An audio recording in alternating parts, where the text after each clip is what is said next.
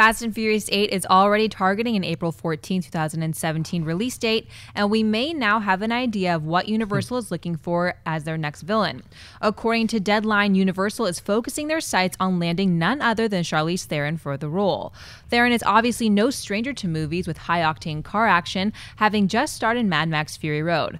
Fast and Furious 8 is being directed by straight outta Compton Helmer F. Gary Gray. Schnepp, would you buy or sell Charlize Theron as the villain in the next Fast and Furious movie? Super buy. I love Charlize Theron. I just got a chance to. George Miller was in town in person. You went to that? Yeah, I went to that screening Mad Max Fury Road and then Road Warrior. There was a ton of people. Witness.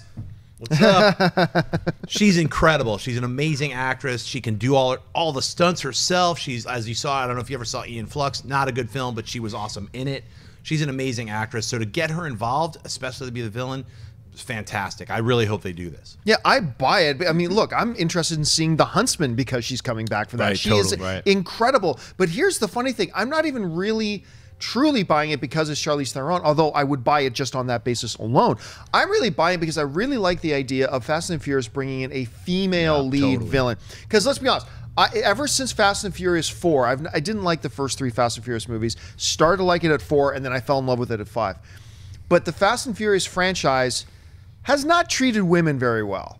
I mean, they're secondary characters at best, just used as love interest or motivation for the me- Or die male- and then they come back, or die and come die back, and or come back. motivation for the male leads and stuff like that. It would be really cool to see them step up. Now, if you're going to get a female villain, Charlize Theron. I mean, come on, that is, would just be perfect. Look, it, according to the report, it's not a done deal. It's not a signed thing. They've just targeted her. But I think it would be a great role for her to take, and I think it'd be a brilliant move for them to get her on board. And I think she'd do great with F. Gary Gray as well. So for me, it would be a massive buy. Kristian. Who else could play my wife? You know what I mean? um, I, I, it's it's a big buy for me. I think that she is a tremendous, tremendous actress, and I also think she showed a lot of what she could do in in Mad Max.